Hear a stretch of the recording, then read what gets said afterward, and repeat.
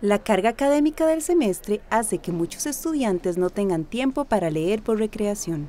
Las vacaciones se convierten en un buen momento para descansar y disfrutar de la literatura de sus autores favoritos. Fomentar la lectura por placer es el propósito de Llévate un libro en vacaciones, una iniciativa de la Biblioteca Carlos Monge. En determinados momentos se pensó que la gente quería llevarse la literatura por más tiempo, ¿verdad?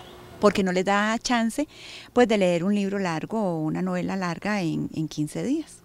Muchos de los estudiantes en tiempo de vacaciones se van para sus casas, regresan a, la zona rural donde viven, a Guanacaste, Turrialba, otros lugares, ¿verdad? Y eh, por supuesto que regresar a devolver un libro en 15 días y a veces sin haberlo terminado, aparte de ser frustrante, pues sale caro. Esta iniciativa permite que los usuarios puedan extender el plazo del préstamo convencional de 15 días, por el tiempo que requieran para llevarlos a su casa o lugar de recreación en vacaciones. Participa en la colección de literatura de todas las nacionalidades y libros de crecimiento personal o autoayuda.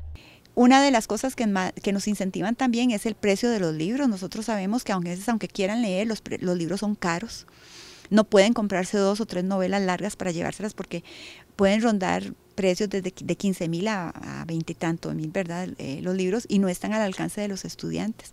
En este caso, eh, son, los libros son gratis. Este servicio está disponible para estudiantes, docentes, administrativos e investigadores de la UCR. Los requisitos para solicitar los libros son estar inscrito en el semestre, presentar una identificación e indicar que lo pide bajo la modalidad de Llévate un libro en vacaciones. El programa está vigente desde el 17 de noviembre y hasta el 9 de marzo del 2015.